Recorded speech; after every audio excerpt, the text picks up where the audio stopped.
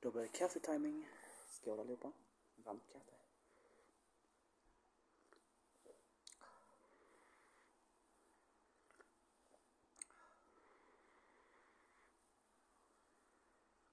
Det är gott med kaffe.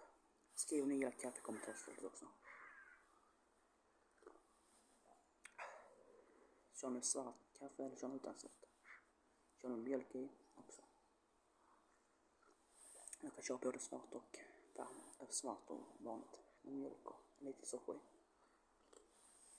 Det är gott faktiskt. I skogen ser väl så fint.